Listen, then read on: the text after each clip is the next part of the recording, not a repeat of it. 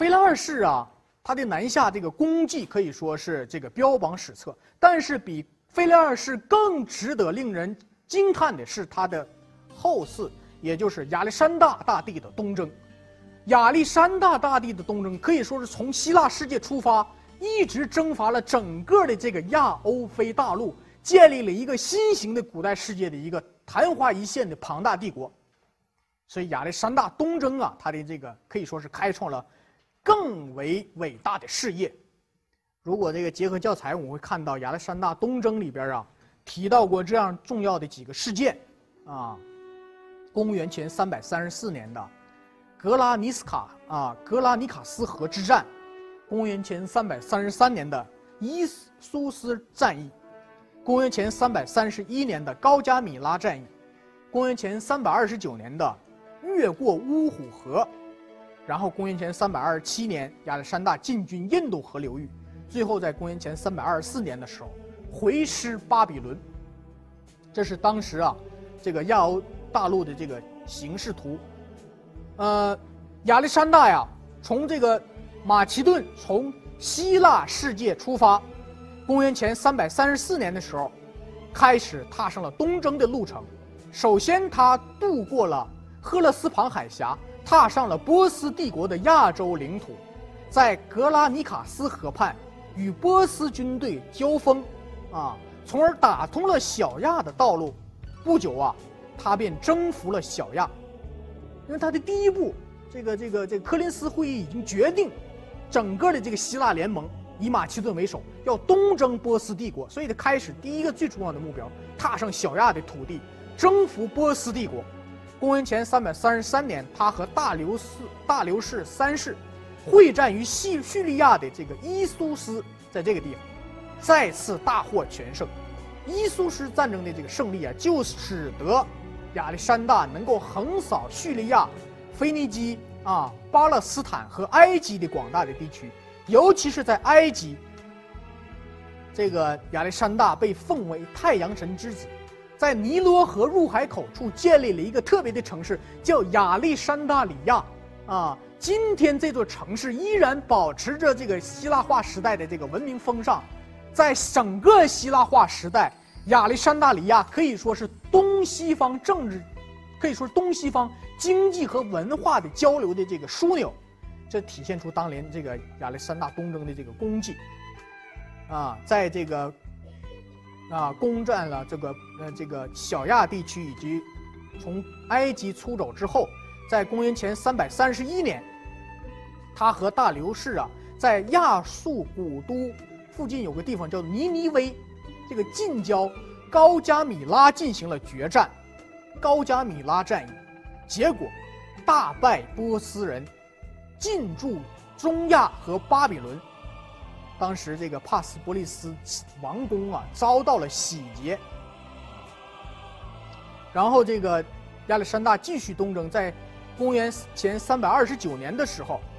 越过了乌虎河，进入了粟特地区，这个中亚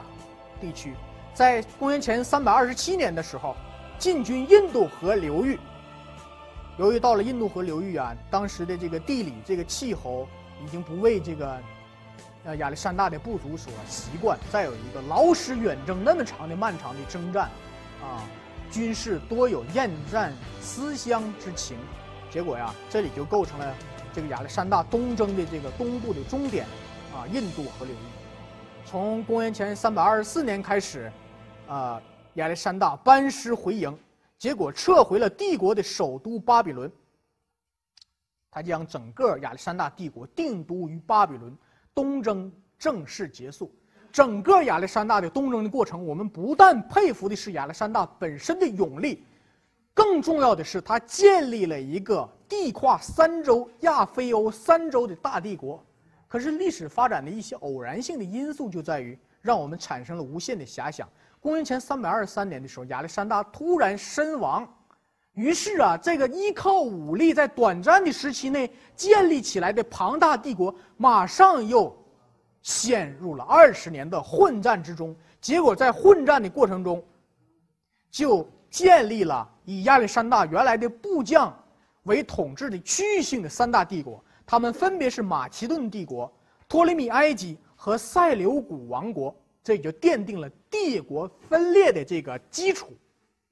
希腊化时代啊，由亚历山大所开创，一直到基督时代的这个初年。尽管亚历山大的东征建立了大帝国，尽管这个帝国是昙花一现，但是我们不可否认的是，亚历山大的东征，包括他的先祖腓力二世，对于整个希腊城邦世界的洗劫，我们看到产生重大的影响。我刚才已经提到了，一个是他结束了希腊的城邦时代。内战的混乱的局面都收归于马其顿的统治。再有一个，东方的波斯帝国退出了历史舞台，东方和西方开始大规模的接触，于是就开始形成了一个新的时代。这个时代已经不同于那个城邦内战的那个雅典和斯巴达人建立的那个整个希腊的城邦世界，不同于古典时代这个希腊文化的繁荣。这个时代是一个东方文化和西方文化首次大交融、大繁荣、大开化的这样一个时代。什么叫希腊化时代？希腊化时代，包括咱们现代化、现代化化。什么叫化？化是成为的意思。希腊化就是把东方的土地化为希腊之意，把东方的文化化为希腊文化的这样一这样一种范畴之内的这样一场用意。但是他能真正的做到吗？他做不到这一点，因为呀，这个希腊城邦所遗留下来的西方文化，在征伐东方的过程中，随着亚历山大的这个武力征服，在扩展到东方的过程中，他也自觉不自觉地接受了东方文化的冲击和影响，这是一个文化的交融的过程，是一个文化的碰撞和交融的过程。所以，希腊化文化绝对不是希腊文化的翻版和扩大，那否则它就构不成一个新的时代了。那它依然是希腊时代，对吧？这是一个东方和西方文化充分交融的一个崭新的一个时代。另外，我们可以看到的是，希腊城邦虽然由于内战，虽然由于马其顿人的这个这个这个征伐啊，它退出了历史的舞台，可是我们看到。希腊人的文化却长久地保留了下来，而且通过亚历山大的东征开始向外这个扩张。然后我们讲文明史上的一些事儿非常有趣儿啊，制度，甚至是比它这个更变化更迅速的这个器物，可以很快的这个这个消失在历史的烟云当中。制度的影响稍微要长一些，但是文化的影响却可以突破这个国家这个地域它的制度它的经济的传统。这些东西都消失不要紧，文化的东西依然会产生它长久的影响。在这几个意义上来讲，我们觉得希腊化时代的这个文明交融可以说有它重大的历史意义。第一个，我们要理解什么叫希腊化时代，那就是亚历山大的东征造就了一个地跨亚非欧三洲的庞大帝国，在世界历史上，东西方世界得以首次大规模的深入接触。自公元前三百二十三年亚历山大之死到基督时代初年，一种混合着希腊和东方因素的新文明得以发展，史称希腊化时代。我们这门课程叫世界史，世界上古时代呀，文明之间的交融它比较有限，存在着地域文明的特色。但是我们也不应当否认上古时代这些最为重要的文明交融及其产生的影响。对于世界历史发展的重要性，你想亚历山大的东征将多少文明通过交融容纳为一体？西方的城邦文化，包括埃及，包括小亚地区，包括波斯帝国的文化，都在这里经过了一个汇合，成为了一个文化这个集中展现自己力量的这样一场这个一个遗产运动。所以，希腊化时代是可以意味着。是古代世界一次文化的总结。那希腊化时代的历史影响就表现在，希腊化时代的东西方的文明交融，促进了君主制和城邦制的结合，引发了地中海世界商贸圈的繁荣和经济中心的东移，造就了富含东西方智慧和世界主义视野的科学和文化。哪些影响体现在政治层面上来讲？你看。这个西方的城邦制虽然泯灭了，啊，但是这个东方的君主制开始这个时候渐渐的影响了这个西方世界。这是政治制度的交融，同时西方的民主制也在东方有影响。像亚历山大里亚这样的城市，这种自治的城市就带有西方独立城邦的这个色彩，这是政治文明交融的成果。君主制专制制度和这个民主制啊，城邦小国寡民的城邦制度相互结合、相互影响，这是政治上的交融。经济上呢，当时这个亚历山大东征的时候提出一个口号，叫“将财富夺回希腊，把东方的财富引回希腊”。他是抢了不少东西运到了西方，但是从那个时候开始，西方已经不再是。地中海世界的商贸中心了，整个希腊化世界的经济中心已经转移到小亚地区，转移到这个北非地区。我刚才讲了，亚历山大里亚就是一个典型的一个希腊化时代的一个经济和文化中心，这是因为小亚地区拥有天然的文化交流的这个平台，它是一个中心的一个枢纽地带。所以可以说，古典世界后期它的经济和文化中心东移了，这是希腊化时代一个最重要的一个历史变化。再有一个，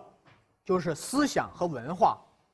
呃，如果学习西方思想史、学习西方文化，我们知道，古典时代的希腊哲学讲究的是思辨，讲究的以自然哲学为它的这个最重要的这个啊思呃思想的贡献。东方是实验主义，以经验为主；埃及的神秘主义，东方的这个技术经验。所以有了东西方文化的交流，我们就会看到，西方的逻辑和东方的经验结合在一起，就产生了一种具有富含东西方智慧的这样一个思想文化体系。我们今天依然在受惠其中的这个奥几里得定理、阿基米德，都产生于希腊化时代，都产生于东西方文化交融这个伟大的时代。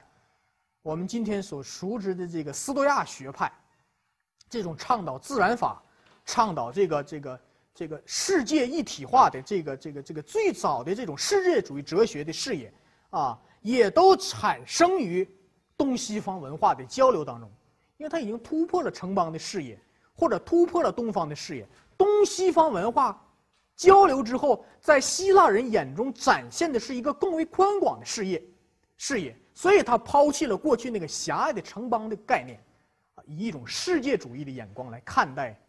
这个人生，看待这个宇宙的发展，看待自然现象。所以世界主义哲学在这个时代产生，啊，这个希腊化时代的重要的这个历史影响。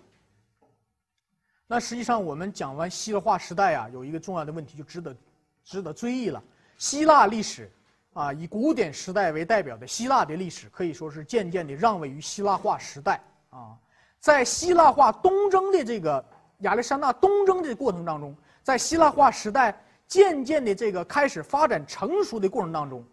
我们应当尤其注意，在希腊半岛的这个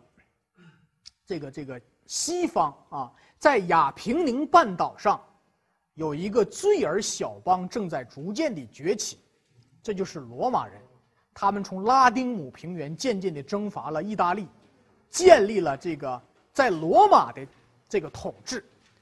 到公元前三世纪末的时候，罗马对希腊化的东方就开始进行了大规模的征伐，最重要的体现为三三次这个马其顿战争。到了公元前一百五十年的时候，我们看到希腊各邦爆发了反对罗马的起义。但是已经无力回天，在公元前一百四十六年的时候，科林斯陷落，最后一个具有自由意味的这个希腊城邦，最后一点自由之火，也被罗马人所吞灭。所以，罗马人最后接续了征服了希腊，又在希腊人的基础上，这个开创了古典文明的新的一页。所以啊，这个下一次课的内容就应当是。进入到这个罗马世界。